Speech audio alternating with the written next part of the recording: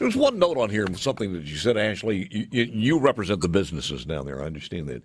Then you start looking at who represent the people, and, and, and what's a little bit worrisome on this um, discussion of how do we achieve some type of balance in uh, in getting to the point of where we want to be uh, uh, that personal income tax is done away with, and nobody wants to roll all of the money over on uh, the consumers. The consumers can't take all of that. You have to place that back somewhere, the burden of those. So it's got to be somewhere equally shared. And I, I, hear people talking about, well, you know, the automobile dealers, the farm equipment people, the businesses don't want that. But then again, where else is it to go? It's got to be equally shared somewhere. Would you agree? Well, you know, look, I, I look at this a little bit differently from the standpoint that you know, we always have these discussions about taxes in terms of, you know, and sometimes you hear government refer to it as revenue, which is kind of an interesting word, but you know, we hear we have these discussions about taxes in terms of the fact that you know we have a set amount of expenses, and the money has to be generated somehow. And so, if it's going to, you know, if we're going to take money out of the grocery tax, we've got to replace it with another tax to make sure that the money is there. Unfortunately, what I don't think we see enough effort in is to shrink the size of government spending. Uh, you know, I worked in the state government under two governors for the better part of 10 years.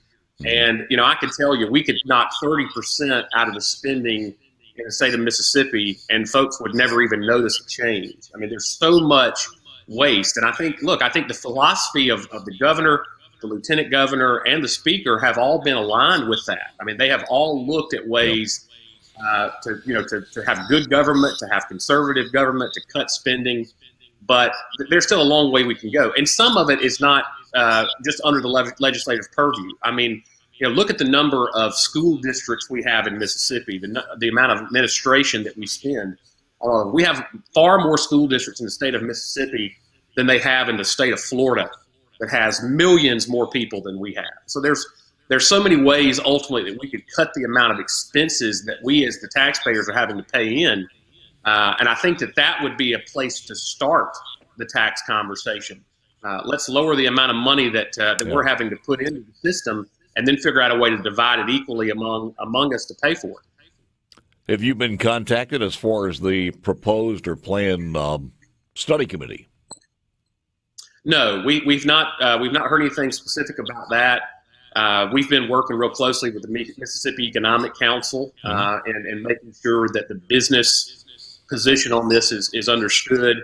But you know, at the end of the day, uh, you know, folks will will criticize and say, well, you know, the businesses don't want the tax burden put on yeah. them, and and that's true. But I mean, you know, we're the ones creating the jobs. We're the ones employing the people in the state of Mississippi. Uh, that's not that's not where you want to put this burden, um, because at the end of the day, that burden is just going to get passed along ultimately to the folks, and uh, yeah. and that's not that's not what we ought to be doing in terms of taxes. How much money is left of the we have 750 million? How much money is left of that, and how much will be dispersed the next round out? State has already spent a couple hundred million dollars. Uh, there's about 500 million still to come in. You know, keep in mind this is a this is primarily a coast issue. We get 75 percent of those funds spent down here, but the rest of the state of Mississippi gets 25 percent of that total.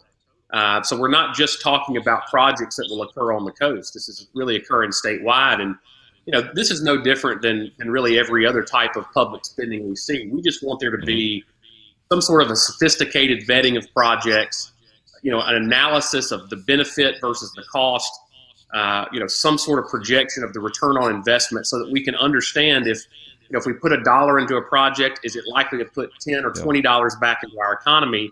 Rather than just simply being expense that takes this one-time money uh, and it's gone forever. And uh, you know, it's it's a simple concept. Unfortunately, uh, you know, what's simple in concept is, is sometimes hard to translate into the political process. What are you? How how are the fisheries doing? What's the prospect on that? Because they were they were basically decimated under this. But how how's it looking there as far as the fisheries are concerned? You know they're coming back uh, but you know you, you, look at the coast i mean we've had more economic disruption on the mississippi gulf coast than yeah. really than any other single region of the country over the last 15 years uh, you know the oil spill hit in 2010 but, but since then we've had you know the Bonnet Carré spillway opening we've had the mississippi river flooding that, that you know flushed the sound with fresh fresh water We've had the blue green algae outbreak. Uh, I mean, it's just been one punch after the after the other for folks that make their living on the water. And uh, you know, th- hopefully, this is going to be a summer that we're going to start to see uh, things coming back up to baseline. Uh, but but it has been a struggle, and, and we really faced a lot of challenges down here. We have a couple of new names that I'm sure you'll be working with and have been working with. Is John Rounsaville. He'll be on next week, and we had yesterday Ryan, uh, Ryan Miller on the new workforce development. So I think we got a good team in in place. Well, I tell you, you know, uh, John and I worked together in Governor Barbour's office way back mm-hmm. when, and uh, and I'm a big fan of his. Uh, I think he's great. I think I think Governor Reeves made a tremendous pick. You know, John is is one of those guys that you love to see working in a government position because he approaches it like a guy from the private sector.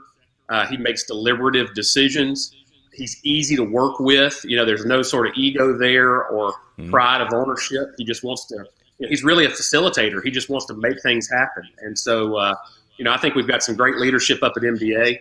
Uh, and I'm excited about the work that they're doing. You know, huge announcement with Milwaukee Tools, which I'm sure yep. you guys have been talking about.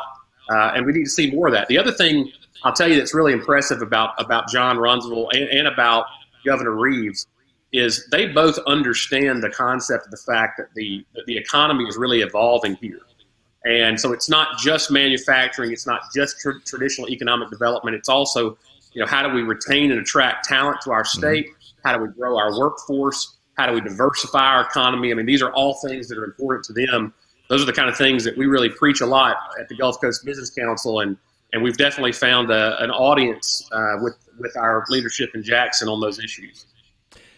Ashley has um, can you point to any from that 200 million, and I know you got a portion of that, any businesses or amenities or projects that have gotten the money and the work has been done and it's kind of uh, headed toward restoration?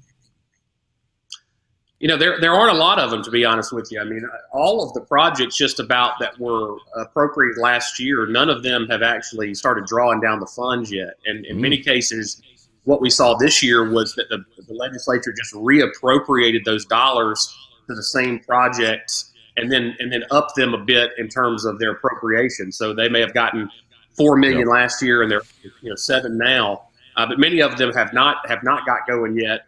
Uh, and when we look back three or four years ago to the early money that the legislature spent, uh, you know there were renovations on some of the campuses of the universities. There was money spent on buildings at USM in Hattiesburg. There was you know, there were things like that that, that were spent ultimately, but, you know, they're not these sort of game changing projects. And, and let me just say this, Paul, because I think this is important. You know, we don't expect the legislature to have to come up with game changing projects. You know, they can't just invent those out of the air. The, the private sector has to be involved in that. One of the struggles that we've had is there haven't been great projects that have come through the application process. But that doesn't necessarily mean that, you know, let's just go and spend the money every year. You know, my position is hey, if, if we don't feel like the projects that came in this year are up to par, uh, let's hold the money. Let's not let it burn a hole in our pocket, and let's wait for those opportunities to arrive. Let's not just uh, not just yeah. spend because it's there. Were you happy with what the what the lieutenant governor said, or was it lacking, or are you guys going to have another meeting, or wh- where does that stand? Well, you know, he, he essentially said that that the way that they have approached this this issue, this coast specific issue, is that you know, that they don't want to sort of meddle in the coast business. And they said, look, you know, you don't want the entire legislature meddling in the coast affairs. These projects have been decided by your coastal legislative delegation. You know, and I understand that sentiment certainly, but on the same note, uh, you know, we these are dollars that have been entrusted to the leadership of the state of Mississippi to make sure that they are spent uh, in the best interest of its citizens. And you know, we we feel like that's something that. Uh, you know, that's everybody's job. It's our duty. It's the duty of, of the legislative leadership, of the legislative members, of the average citizens. You know, we've got to be engaged in the process to make sure that uh, you know, that we're getting that return on investment. What what would you consider job number one if you had the the wallet out of the checkbook out and you was going to write a check for it now, as far as from the BP fund? What would be job number one that needs to be done? Well, you know, we, we're real big on the blue economy down here on the Mississippi Gulf Coast. And what we mean by the blue economy is essentially the, the, the ocean economy, things that, are, that revolve around our proximity to the maritime mm-hmm. environment. Uh, there's going to be about $5 trillion projected in new investment uh, in the blue economy over the next 10 years. And you're in a perfect situation here to leverage a lot of that, attract a lot of that investment here. So, yep.